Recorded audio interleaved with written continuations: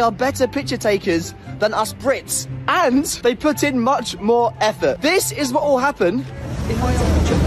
He takes one photo and he's off. I'm done, but she's not.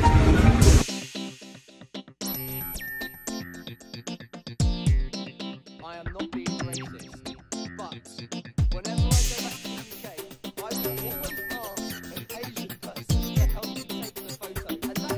because they are better picture takers than us Brits, and they put in much more effort. This is what will happen if I ask a British person to help me take a picture.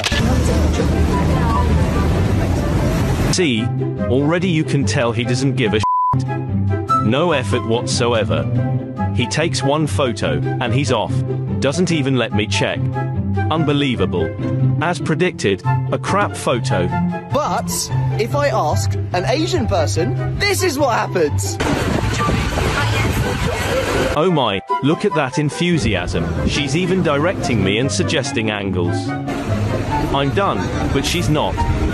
That is what you call commitment. Very nice. Thank you so much. And that is why I will always ask an Asian to take my photo.